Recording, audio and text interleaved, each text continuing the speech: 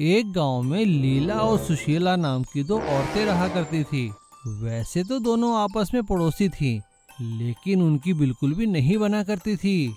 वो हमेशा एक दूसरे से लड़ा करती थी। एक दिन ऐसे ही सुबह सुबह दोनों का शोर सुनकर सारे गाँव वाले वहाँ इकट्ठे हो गए।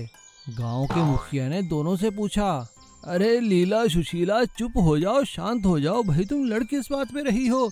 जरा बताओ तो सही मुखिया की बात सुनकर लीला ने कहा, अब देखिए ना सरपंच जी, ना जाने हर दिन रसोई में नाना प्रकार के व्यंजन बनाती रहती है, जिसकी खुशबू मेरे घर तक आती है, और फिर मेरे बच्चे भी खाने की जिद करने लगते हैं, और मुझे पकाना ही पड़ता है।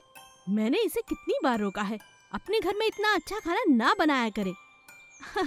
मुखिया जी, भला ये भी कोई बात है, मेरा घर, मेरी रसोई, मैं जितने चाहे व्यंजन बनाऊँ। इसमें कोई रोकने वाला कैसे हो सकता है? ऐसा कहकर वो दोनों फिर से एक दूसरे के बाल पकड़कर लड़ने लगती है। गाँव वाले बड़ी मुश्किल से उन दोनों को अलग करते हैं और उनकी लड़ाई का कारण सुनकर हँसते हुए वहाँ से चले जाते हैं। एक दिन सुशीला की बेटी ने आकर उससे कहा माँ माँ देखो ना मेरा रिज़ल्ट आ गया। मैं क्लास में प्रथम आई हूँ। अरे वाह बेटा मैंने तो अभी भगवान के भोग के लिए तुम्हारे लिए लड्डू भी बनाए हैं। जाओ जाकर भगवान को भोग लगाओ। मैं अभी खेतों से तुम्हारे पिताजी के पास से आती हूँ। और उसके बाद मिलकर हम पूरे गाँव में लड्डू बांटेंगे। माँ मैं भी तुम्हारे साथ चलूँ खेतों में पिताजी के पास। ये अच्छी खबर मैं खुद पिताजी को देना चाहती हूँ। ऐसा कहकर दोनों माँ बेटी खेतों की ओर चले जाते हैं। लीला ने जलन के मारे उन दोनों को सबक सिखाने की ठान ली क्योंकि उसकी बेटी क्लास में फेल हो गई थी और मन ही मन सोचा ये अच्छा मौका मिला है। क्यों ना इन लड्डुओं में जमाल घोटा मिला दूँ? सारे गाँव को लड्डू खिलाने चली थी ना, बुरी हालत हो जाएगी सबकी, और फिर मेरा बदला भी पूरा हो जाएगा। और मौका पाकर लीला सारे लड्डुओं में जमाल घोटा मिला देती है। सुशीला अपनी बेटी के साथ वापस आकर जब सारे लड्डू गाँव में बांटने जा रही थी तो सबसे पहले उसे लीला के पति और उसके बच्चे मिलते हैं। वो उन्हें सारी बात बताकर लड्डू खाने को देती है। लीला का पति सुशीला को उसकी बेटी के फ़र्स्ट आने पर बधाई देते हैं और बड़े प्यार से लड्डू लेकर खाने लगते हैं।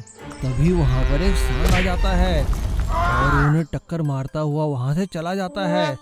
सारे लड्डू नीचे गिरकर खराब हो जाते हैं। ये देखकर सुशीला और उसकी बेटी बहुत दुखी होते हैं और वो दोनों बड़े दुखी मन से अपने घर वापस आ जाते हैं।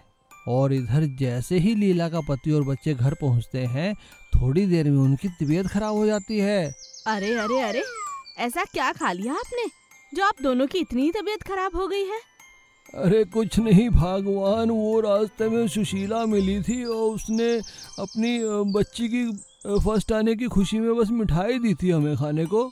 उनकी बात सुनकर लीला अपना सिर पकड़ लेती है और अपने पति और बच्चों को तुरंत हॉस्पिटल ले जाती है जहाँ उनका इलाज किया जाता है। और वो ठीक होकर घर वापस आ जाते हैं। अब लीला को अपनी गलती का एहसास हो चुका था और वो जाकर सुशीला से माफ़ी मांगती है और उससे गले लग जाती है।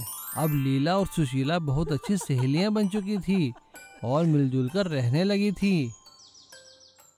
अमीर और गरीब खिलौना रेस, समस्तपुर में चिंटू नाम का एक लड़का रहता था। उसे खिलौनों से खेलना बहुत अच्छा लगता था। वो अपने लिए खुद ही बड़े अच्छे अच्छे खिलौने बनाया करता था और उनसे खेला करता था। उसके अधिकतर खिलौने वेस्ट मटेरियल के बने होते थे, जो बहुत सस्ते और टिकाऊ होते थे। वो अपने दोस्तों को भी खिलौने खेलने के लिए दिया करता था। गाँव के सभी बच्चे चिंटू के दिए हुए खिलौनों से खेलकर बड़े खुश होते थे। एक दिन गाँव के बच्चे चिंटू के पास गए और उससे पूछने लगे, अरे चिंटू, आज तूने क्या बनाया है? देखो देखो आज मैंने एक लकड़ी की साइकिल बनाई है। कैसी लगी तुम्हें मेरी साइकिल? अरे वाह ये तो बहुत अच्छी है। सभी बच्चे चिंटू की बनाई साइकिल से खेलने लगते हैं। तभी वहाँ पे गाँव का अमीर लड़का पिंटू आता है। वो अपनी नई महँगी साइकिल लाकर गाँव के बच्चों पर रोब जमाता है। आज ही मेरे पिताजी नई साइकिल लेकर आए हैं वो भी शहर से। उसकी बातें सुनकर चिंटू का दोस्त बोलता है। अरे हमारे पास भी साइकिल है चिंटू ने बनाई है। लेकिन पिंटू चिंकू और उसके दोस्तों की लकड़ी की साइकिल देखकर उनका मज़ाक उड़ाता है। तुम्हारी ये लकड़ी की साइकिल चलती भी है कि नहीं? हाँ हाँ चलती है। चिंटू बताओ ना इसे। हम्म, ये यहाँ क्या बताएगा? अगर हिम्मत है तो गाँव के मेले में मेरे साथ रेस लगा के बता तब मानू। हाँ हाँ ठीक है। मुझे मंजूर है। चिंटू की बात सुनकर पिंटू उसको गाँव के मेले में साइकिल रेस लगाने का न्योता देता है। अगले दिन दोनों अपनी अपनी साइकिल लेकर गाँव के मेले में जाते हैं और वहाँ साइकिल की रेस लगाते हैं। रेस शुरू होते ही पिंटू सबसे आगे निकल जाता है और चिंटू पीछे रह जाता है। लेकिन तभी पिंटू की साइकिल में कांटा लगने के कारण उसकी हवा निकल जाती है और वो वहीं गिर जाता है। और चिंटू अपनी लकड़ी की साइकिल लेकर आगे निकल जाता है और रेस जीत जाता है। रेस जीतने के बाद मेले वाले उसको इनाम देते हैं। चिंटू के सभी साथी दोस्त उसका तालियों से स्वागत करते हैं।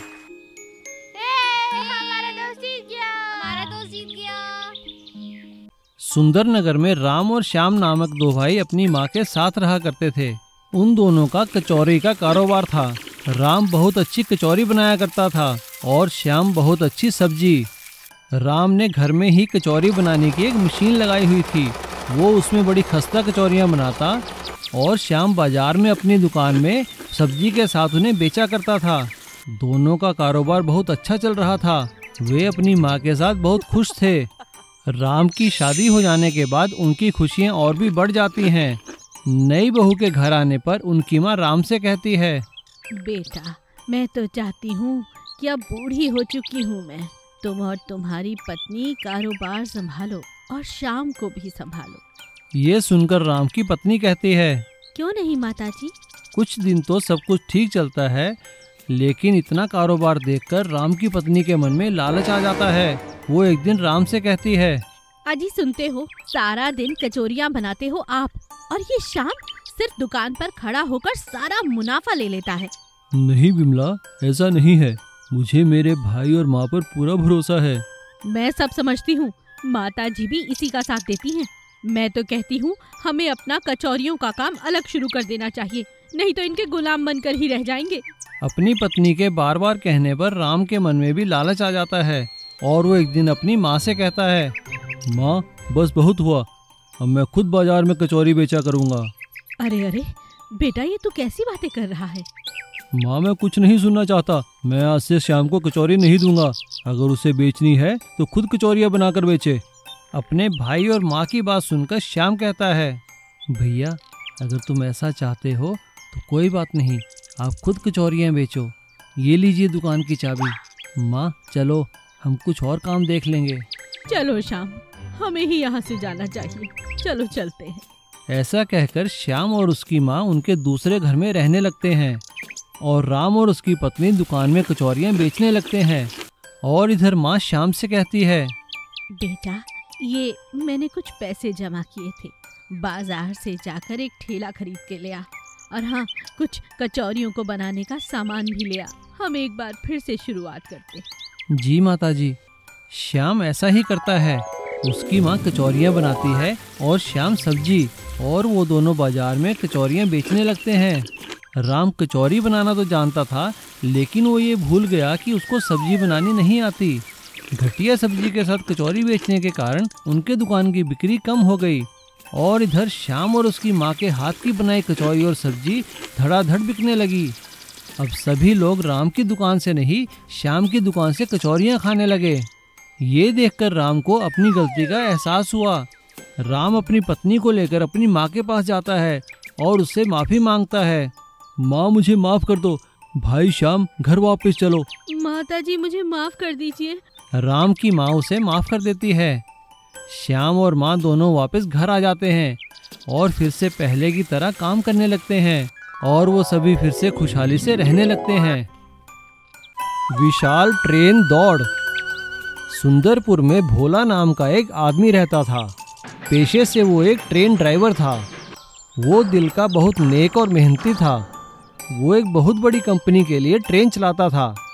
वो पिछले तीस सालों से बड़ी ही कुशलता से ट्रेन चलाया करता था।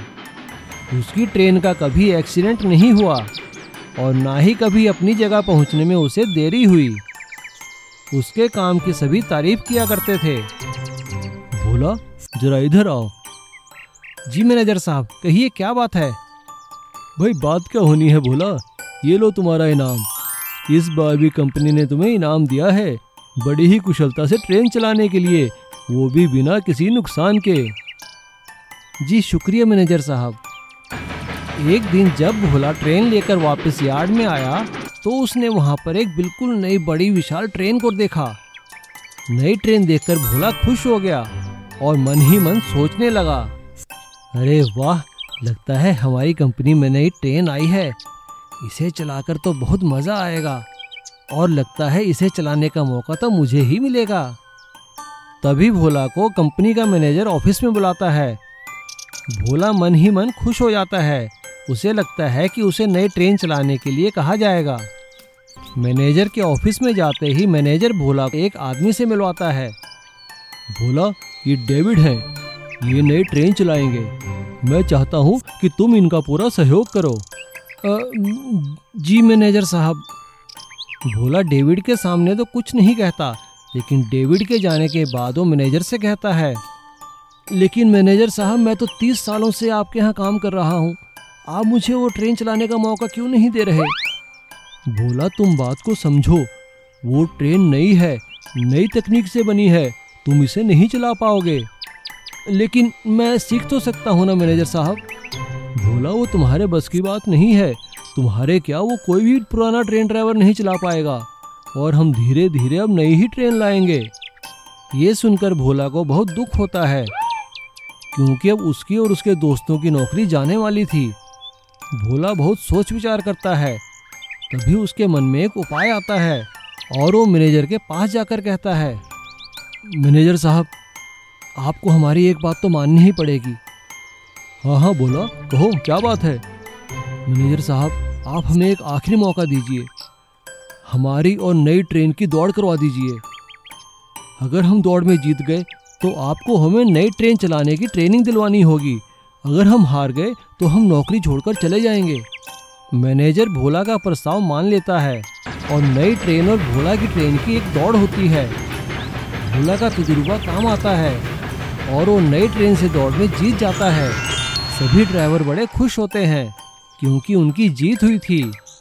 अब पुरानी तकनीक और नई तकनीक दोनों मिल गए थे। भोला और उसके साथियों को नई ट्रेन चलाने की ट्रेनिंग दी गई, और भोला फिर से खुशी खुशी ट्रेन चलाने लगा, और वो भी डेविड के साथ मिलकर। भाई वाह भोला, तुमने साबित कर दिया, कि सीखने की कोई उम्र नहीं होती। खिलौने और बौनों का बचाव। टनकपुर गाँव में जंगल में एक बौनों की गुफा थी। उस गुफा में बौने काफ़ी समय से रहा करते थे और वो कभी कभी घूमने के लिए बाहर गाँव में भी आया करते थे। छोटे होने के कारण इंसानों की नज़र कभी उन पर नहीं पड़ती थी। गाँव वाले और बौने काफ़ी समय से बिना एक दूसरे को देखे वहाँ रहा करते थे। लेकिन एक साल काफ़ी बारिश होने की वजह से बौनों की गुफा तबाह हो गई। नदी का सारा पानी बौनों की बस्ती में घुसने लगा। उनके घर टूटने लगे। हे भगवान इस बरसात ने तो सारे घर तबाह कर दिए। अब तो नया घर बनाना होगा। चलो सरपंच से बात करते हैं। सभी बौने मिलकर अपने सरपंच के पास गए। सरपंच जी जल्दी जल्दी नए घर बनाने का इंतज़ाम करिए। बरसातों के मौसम में सारे घर बर्बाद हो चुके हैं। ठीक है। लेकिन घर बनाएगा कौन? सरपंच की बात सुनकर एक बौने ने कहा आ, हम बनाएँगे। मैंने गाँव के बच्चों को खेलते हुए देखा है। उनके पास नए नए तरीके के खिलौने हैं। हर तरह का खिलौना है जिनसे घर भी बनाया जा सकता है। सरपंच ने बौने की बात सुनकर कहा क्या कहा? ऐसी बात है? तो जाओ उन खिलौनों को यहाँ ले आओ। सरपंच से आज्ञा लेकर कुछ बौने हिम्मत करके गाँव में गए और वहाँ से उन्होंने बच्चों के खिलौने लाने का सोचा। चलो दोस्तों वो पिंकू का घर सब जानते हैं ना? उसके पास सौ से भी ज़्यादा खिलौने हैं। कुछ खिलौने जो हमारी ज़रूरत के हैं। आज रात हम गायब कर देंगे। वे सभी रात को चोरी छिपे पिंकू के घर गए। बोनो ने पिंकू के खिलौनों में से अपने काम के खिलौने उठाए और उन्हें लेकर आ गए। अरे वाह चलो घर बनाते हैं। बोनो का सरपंच भी खिलौनों को देखकर बहुत हैरान हुआ। अरे वाह ये तो वाकई में इंसान की बनाई हुई नायाब चीज़ है। लेकिन सुबह उठने पर जब पिंकू ने देखा कि उसके खिलौने गायब हैं तो वो दुखी हो गया। पापा पापा मैंने आँगन में अपने खिलौने रखे थे। सारे खिलौने गायब हैं। बेटा क्यों परेशान हो रहे हो? अपने बच्चे को रोता देख पिंकू की माँ ने उसे एक उपाय बताया। एक उपाय लगाती हूँ। आज रात अगर चोर आया तो ज़रूर उसका पता चल जाएगा। तू ऐसा कर, अपने पुराने खिलौने पर मेरी नील पॉलिश की शीशी लगा दे। सारे रास्ते वो गिरता जाएगा और हम उसे पकड़ लेंगे। हाँ ये ठीक रहेगा, माँ। पिंकू ने वैसा ही किया। रात होते ही बोने फिर से खिलौने उठाने आए। बोने पिंकू के कुछ खिलौने उठाकर अपने साथ ले गए। लेकिन सारे रास्ते में नेल पॉलिश गिरती गई और नेल पॉलिश के निशान का पीछा करते करते पिंकू बोनो के देश तक आ पहुँचा। पिंकू को देखकर बोने हैरान हो गए। बोनो ने पिंकू को अपनी सारी समस्या बताई। हम तो यहीं पर रहते हैं बरसों से। लेकिन वो क्या है ना बरसात में हमारे घर टूट गए हैं। हम नए घर बना रहे हैं। हमारे पास औज़ार और मशीनें नहीं है। तुम्हारे खिलौने देखकर लगा कि हम जल्दी बना पाएँगे। अच्छा तो ये बात है। क्या तुम मेरे खिलौने जल्दी ही वापस कर दोगे? बिल्कुल! घर बनने ही वाले हैं। हम दो तीन दिन में तुम्हारे सारे खिलौने वापस कर देंगे दोस्त। वादा करो। वादा! और पिंकू के खिलौनों की सहायता से जल्द ही बोनो ने अपने सारे घर बना लिए। बोनो ने पिंकू का शुक्रिया किया और खिलौने चोरी करने के लिए उससे माफ़ी मांगी। शुक्रिया दोस्त, तुमने हमारी मदद की। हमारे घर तैयार है, लेकिन वो चोरी के लिए हमें माफ़ करना।